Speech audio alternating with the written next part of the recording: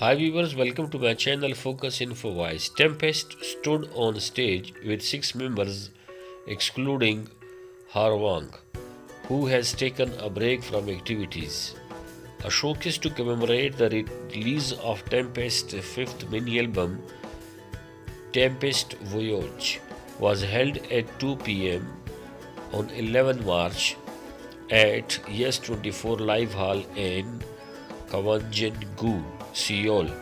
This album is their first album in six months since their single Arashi no Naki released on September last year. LEW said, It's been six months since we have made a comeback. We will be able to perform on stage for the first time in a while.